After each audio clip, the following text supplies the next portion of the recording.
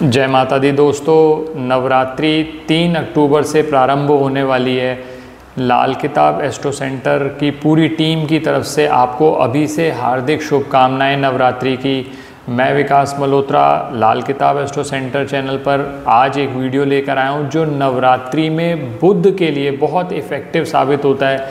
नवरात्रि, मैंने पहले भी आपसे अपने कुछ वीडियोस में बात करी है कि एक ऐसा अवसर है जहाँ माँ दुर्गा की आप कृपा प्राप्त कर सकते हैं और माँ दुर्गा जो है वो बुद्ध की आराध्या देवी हैं।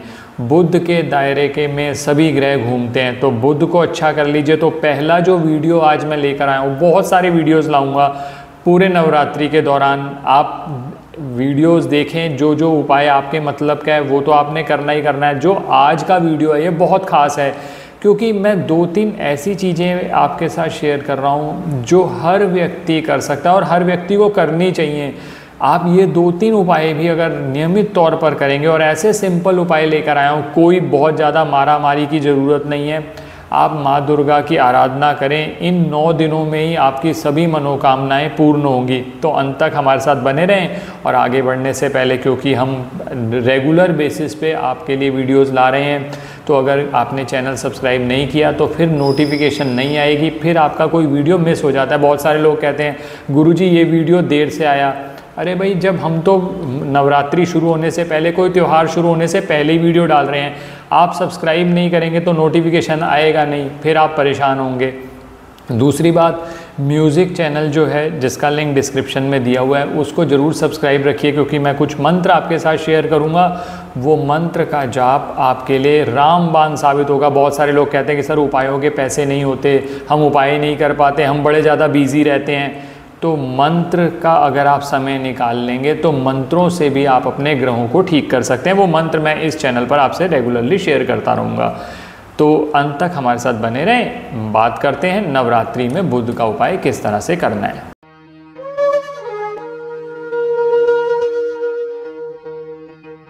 अब सबसे पहले जो बात शुरू कर रहा हूँ कि तीन ऐसी चीज़ें बता रहा हूँ जो नवरात्रि में हर व्यक्ति कर सकता है। कोई पत्री देखने की आपकी ज़रूरत नहीं। आप कहते हैं, सर, मेरे पास तो पत्री नहीं है। कोई बात नहीं, तब भी आप ये उपाय कर सकते हैं।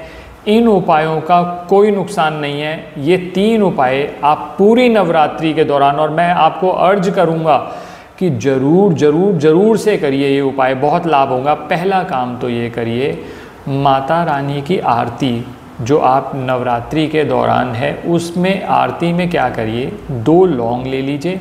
एक कपूर का छोटा टुकड़ा ले लीजिए। जैसे आप दिया जलाते हैं, सब कुछ करते हैं, वो सब करिए। इसके साथ इन चीज़ों से मतलब दो लौंग के साथ कपूर रख के उसको जला लीजिए और माता की आरती करिए। एक मंत्र है, ओम एंग ह्रीम क्लीम चामुंडाई विचे इस मंत्र को तो मतलब आप पकड़ के रख लीजिए। ये मंत्र मैंने अपने न्यू म्यूज़िक चैनल पर शेयर किया है, नीचे लिंक भी दे रखा हो, डिस्क्रिप्शन में हमारी टीम डाल देगी। ओम एंग ह्रीम क्लीम चामुंडाई विच्छे कोशिश करिए ये 24 घंटे आपके मन में गूंजता रहे। आप ये देखिएगा, इस मंत्र में इतनी, इसको नवान मंत्र कहा जाता है, इसकी इतनी ऊर्जा है। मैंने इस पर भी एक वीडियो ऑलरेडी शेयर किया हुआ है कि नवान मंत्र की क्या इंपॉर्टेंस है और हर जो वर्ड को एक्सप्लेन करते हैं कि उससे क्या सिग्निफाई होता है, वो मैंने एक्सप्लेन किया हुआ है आपको। वो वीडियो भी ज़रूर देखिएगा, हमारे चैनल पर आपको मिल जाएगा। तो ये आरती किसी भी समय, सुबह, शाम, दोपहर, जब आपको टाइम मिले ओम एंग ह्रीम क्लीम चामुंडाई विचय ये कहते हुए ये आरती करें। तो ये वाला उपाय तो सभी को पहला काम करना है। दूसरा मैंने आपको ये कह दिया साथ साथ इसके मंत्र जपना है। ये पहला उपाय हो गया।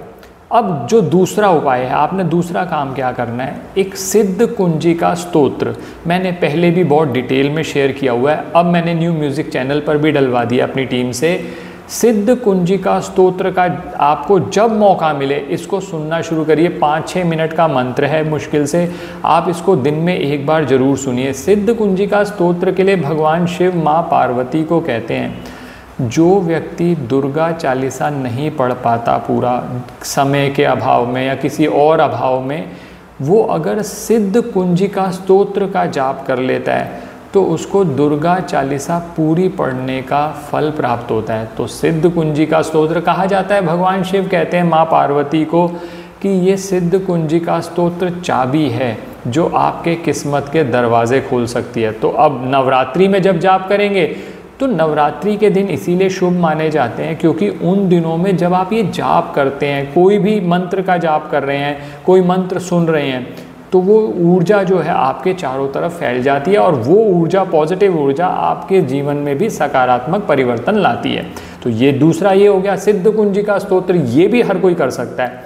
और तीसरी चीज़, हर व्यक्ति के जीवन में ग्रह कलेश बहुत ज़्यादा है। आप कहते हैं घर में सर बीमारियाँ बहुत ज़्यादा हैं, सर कोई ना कोई टेंशन लगी रहती है, रिश्तेदारों से कन्फ्लिक्ट ये एट्सेट्रा ये सब चीज़ें चलती रहती हैं। तो इसके लिए पूरी नवरात्रि में एक छोटा सा उपाय जो फिटकरी का प्रयोग अब फिटकरी क्या है? मैं पहले अपने वीडियोज़ में बात कर चुका हूँ, जल्दी से बता देता हूँ। फिटकरी जो है, वो बुद्ध से संबंधित मानी जाती है। तो आपने क्या करना है? एक स्टील का कोई भी लोटा ले लीजिए, उसके अंदर जल डालिए, उसमें थोड़ी सी फिटकरी डाल दीजिए। फिटकरी जो भी प्रयोग करनी है, देसी फिटकरी करनी है, केमिकल वाली नहीं लेनी, नहीं तो फ़ायदा ही नहीं होगा। देसी फिटकरी डालकर उसको अच्छे से मिला लीजिए, उसके अंदर मिल जाएगी। चाहो तो कूट लो थोड़ा सा। अच्छे से मिला के फिर इस जल का छिड़काव अपने घर में पूरा करिए और सबसे ज़्यादा जो आप ध्यान दीजिए, वो ध्यान दीजिए मुख्य दरवाजे पे। मुख्य दरवाजे पे जाकर इसको इस पानी को आप छिड़काव करिए। आप देखेंगे जो नेगेटिविटी आपके घर में फैली हुई थी, कोई नज़र लगी हुई थी, उससे आपको मुक्ति मिलनी शुरू होगी। तो ये तीन उपाय तो हर व्यक्ति को करने हैं। ये हो गई तीन उपाय की बात। अब चौथा जो उपाय मान लीजिए आप कहते हैं कि सर आ, मेरे काम निन्यानवे पे जाकर रुक जाते हैं। सर मनोकामना बड़ी देर से कोई मन में लिए जा रहा हूँ। किसी ने ये कह दिया कि आप तुम्हारे ग्रह खराब हैं कोई पितृ ऋण है दोष है एट्सेट्रा कुछ उपाय तो आपने पितृपक्ष में करे होंगे उसका भी लाभ आपको मिलना शुरू हो गया होगा। जिन लोगों ने किए उपाय उन्होंने उनका फीडबैक भी आना शुरू हो गया। कि अभी से ही पॉजिटिविटी और लाभ दिखने लगा। आप क्या करिए, एक छोटा सा उपाय और करिए, इसमें करना क्या है? एक पान का पत्ता लीजिए। उसके अंदर आपने क्या करना है? देसी फिटकरी का एक टुकड़ा लीजिए। उसमें थोड़ा सा सिंदूर लगा लीजिए। इसको रैप कर लीजिए। रैप करने के बाद किसी भी पीपल वृक्ष के नीचे बुधवार वाले दिन आप ये दबा दीजिए। नवरात्रि के दौरान कर लें तो बहुत अच्छा नवरात्रि में जो भी बुधवार आएगा, अगर आपके लिए संभव हो उस दिन कर लो। मान लो आप कहते हो, सर, नहीं हो सकता।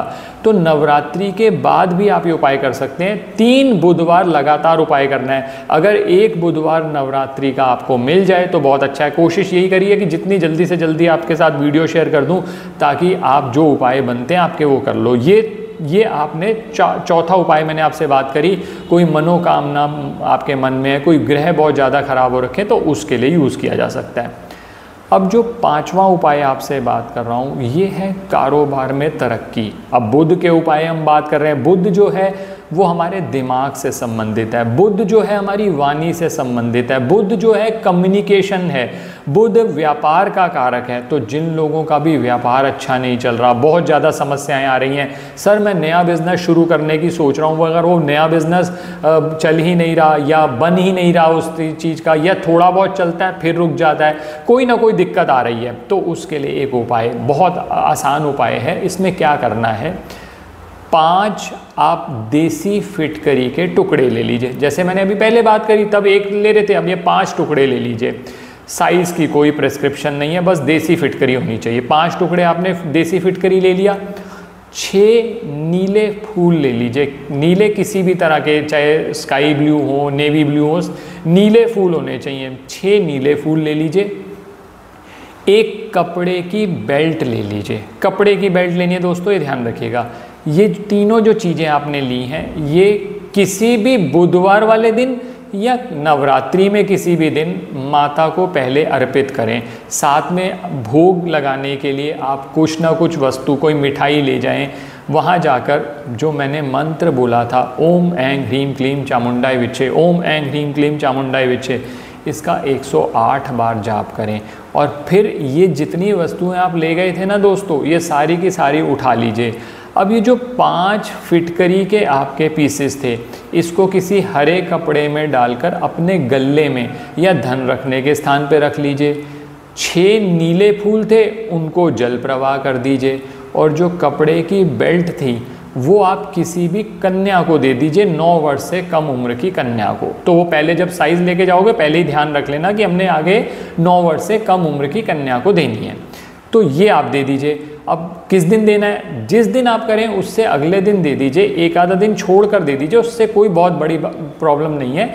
बस आप कोशिश ये करिएगा, जिस समय पर आप ये उपाय करें उस समय पर वो मंत्र जो मैंने बोला है, ओम ऐं ह्रीम क्लीम चामुंडाई विच्छे, उसका 108 बार पूरी जान लगाकर आप करेंगे, आपको लाभ ज़रूर होगा। और बाकी मैं कोशिश करूँगा और ग्रहों से भी संबंधित, आज बुध से संबंधित कुछ उपाय आपके साथ शेयर किए। बाकी आप हमारे चैनल पर जाएँगे, आपको पिछले नवरात्रों के भी बहुत सारे वीडियोज़ मिल जाएँगे, आप उसमें भी देख सकते हैं, आपकी समस्या के हिसाब से है तो आप उनमें से कुछ उपाय अगर आपके बनते हैं तो वो उपाय कर लीजिए। प्लस मैं कोशिश करूँगा इन दिनों में आपके लिए कुछ ना कुछ नए उपाय हर ग्रह के लिए ले आऊँ। आप उनमें से थोड़े थोड़े उपाय भी कर लेंगे, आपके जीवन में सकारात्मक परिवर्तन आएगा। आशा करता हूँ दोस्तों वीडियो पसंद आया होगा।